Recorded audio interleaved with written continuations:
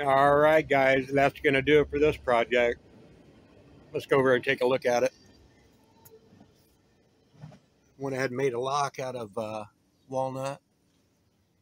It's a faux lock. The key's set in place. It's removable. Pretty cool. Hey, I appreciate my new subscribers. Thank you very much. All right, let's take a look inside. It's got some weight to it. Finished inside.